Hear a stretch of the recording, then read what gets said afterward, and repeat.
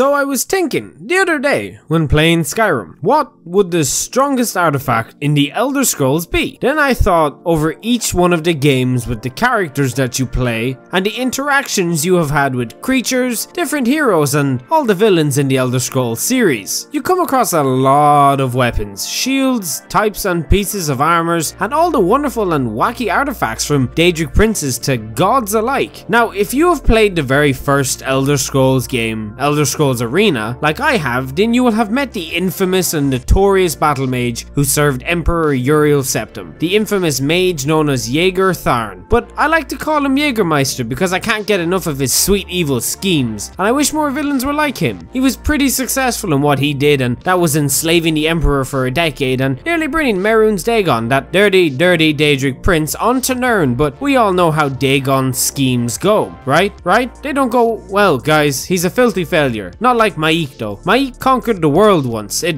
was glorious. What was that M'aiq? Did you say like this video so I know to make more in the future? See, this Khajiit, he, he just got mad spirit guys. Mad kitty cat spirits.